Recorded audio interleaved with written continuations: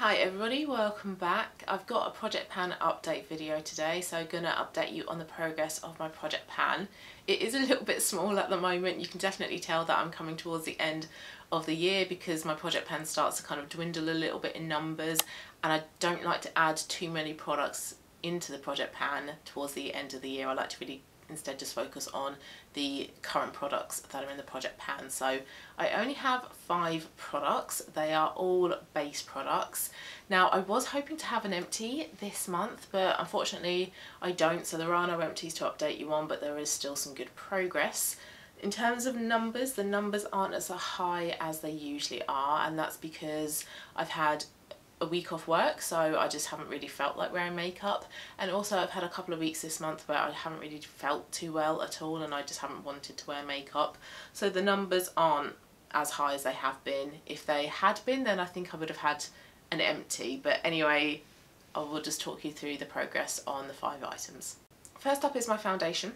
This is the NARS Sheer Glow Foundation in the shade Deauville this one I only wore 12 times since the previous update and this is lower than the other products in the project pan and that's because on a couple of days I didn't really want to wear this. I wanted instead to wear my Hydra Tint by Sculpted by Aimee because that's just a skin tint and it's a lot more lightweight whereas this really is now my only, despite the name Sheer Glow, my only pretty much full coverage like proper foundation. It's a proper liquid foundation. I've also got the Merit um, minimalist not skin tint skin stick the minimalist stick. I have that one as well.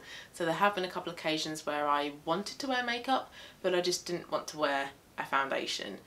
Saying that though I, I have it on today. It is still a really nice foundation. It is still very much fairly lightweight. You can build it up. It's probably I wouldn't say it's a light coverage foundation I'd probably say it's more like a medium coverage foundation. But it does add a nice sort of bit of radiance to your skin so it's not flat it does have a little bit of like life in it. But I've said this multiple times I'm very much not a fan anymore of liquid foundations like this regardless of whether they're you know light medium or, or full coverage.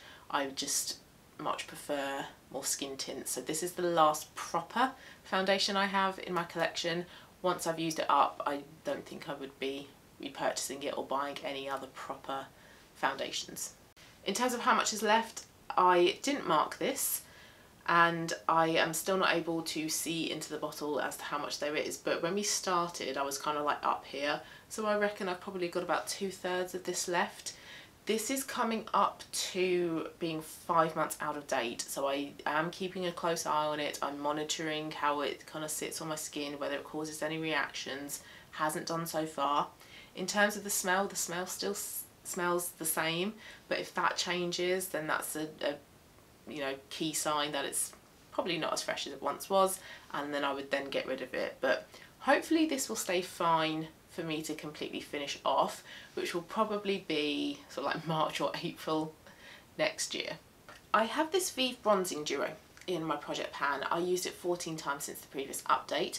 I only use this side because this is the lighter of the two sides, shades rather. This shade is too dark and too orange.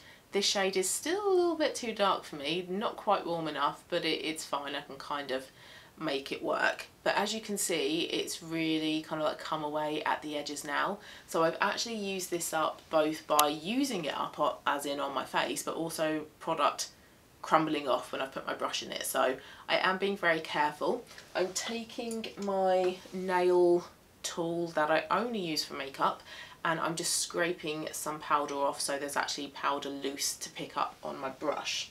Now as there is only powder at the very top here I do expect more to crumble off because it is probably really quite unstable now. There's nothing else to kind of anchor it to the rest of the pan. So who knows? If it breaks off it could well be an empty by next update or it could stick around for a little bit longer. But I think regardless of whether I finish this off by the end of the year or not, I'm going to get rid of it because it is out of date. It's a powder, it's fine. I can still wear it and not have any reactions. But I just don't really like using this anymore as well. I'm kind of not loving wearing bronzer anymore. I think since I've discovered I'm a true spring, I just feel like it's a little bit too heavy, too muddy. Perhaps even still trying to be light-handed with it. But yeah, I don't really like this bronzer as much as I once did. I still have some of this pink blusher left from Vieve. It took me ages to hit pan on it and it's just still clinging on for dear life. I use that same nail tool and scrape off powder because it's just very difficult to get powder now because it's around the very edges. I could be done with this by the next update because although there is powder around, you know, half of the, the sides, it is very, very thin. I've scraped down quite a bit so it is very, very thin in terms of width. So this could be an empty by the next update but it will definitely and I will make sure of it it will definitely be an empty by the end of the year. It's lovely blusher though. I have thoroughly enjoyed this palette. I've completely used up all, all three shades in this palette. So beautiful. Light, warm, bright face shades. Bronzer, highlighter, two blushes. It's been an absolute pleasure to use. Albeit just slightly frustrating that this one has taken so long to get to this point. I don't know if I said as well, but I also use this one 14 times. 14 is a theme. I also use the Pesca blusher 14 times as well, also by Vieve. This is a brilliant year-round shade for springs and also autumns. It's just a great peach blusher. So it's warm, it's light, it's got a little bit of brightness in there as well. So it's not like a toned down muted type of blusher. It's a nice uplifting and radiant blusher. So great for like the spring and summer months, but like I say, as a spring and autumn, it's great for just a year round blusher as well if you are a spring or autumn, it, it would be a good idea to have a peach blusher in your collection if you want to do your makeup according to your season. If you don't, go for whatever blusher you want. In terms of progress, I don't think this, that this has really changed much at all. I'm not expecting it to because powder blushes take an age to use up. But like I say every month, I'm not really bothered bothered about completely using this up. It's in my project pan because I just hadn't touched it in a long time before putting it in the project pan and it layers really nicely with the pink blusher as well. And then the last product was one that I was really hoping to have finished off by this update, but because like I say I took a couple of weeks off from wearing makeup near enough because I wasn't feeling too well, it meant that I didn't use this as much as I wanted to and as much as I think it would take to finish it off, but I should hopefully finish this off by the next update.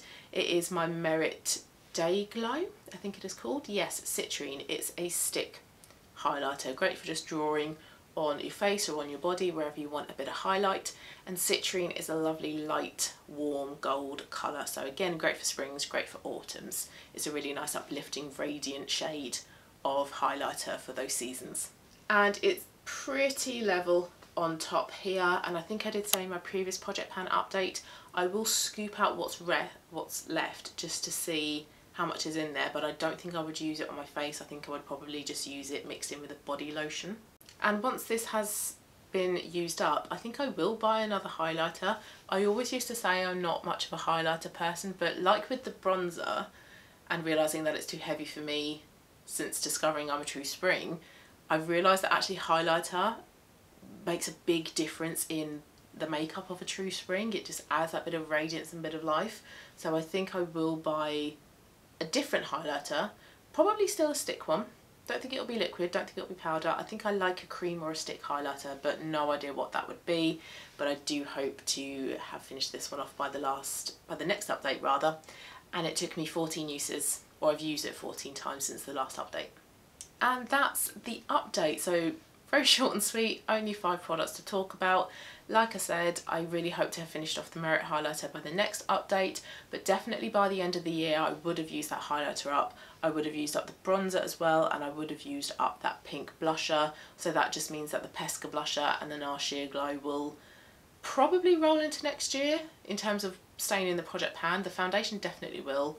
Not sure what I will do about the blusher. I might just want to add in a different blusher perhaps, but that's that's for next year. That's not to worry about for now. But like I say, that's the update. Hope you did like it. If you are doing a project pan please let me know how the progress of your items are going. And I will see you very soon for my next video. Bye.